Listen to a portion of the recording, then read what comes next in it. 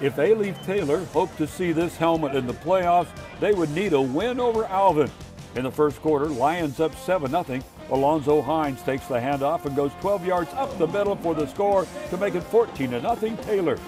After Alvin tied the score at 14 apiece in the second, there's Hines waiting for the kickoff for the 17, and it doesn't really look like he knows where he wants to go. But I tell you, he figured it out quickly as once he found a secure opening, it's a house call. He goes 83 yards, and Taylor leads 21 to 14.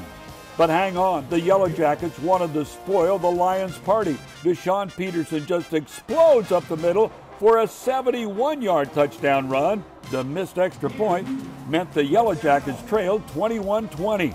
In the second half, though, Taylor would pull away.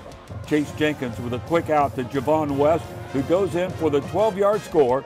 The Lions march into the postseason with a 56 33 win.